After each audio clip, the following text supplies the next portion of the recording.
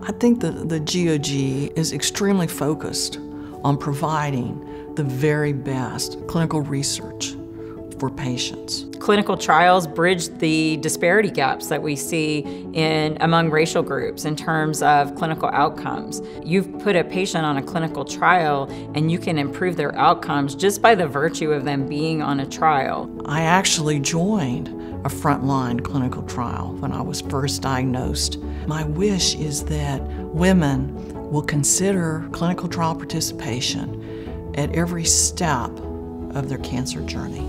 So I'm treating patients with new therapies now that are available in our clinic because of the trials that have been done through GOG. If the treatments don't differ, and the treatments are the same, then it's important to know which of the treatments provided the best quality of life. And they appreciate being asked these questions as well. It makes them feel that we really are interested in their overall well-being.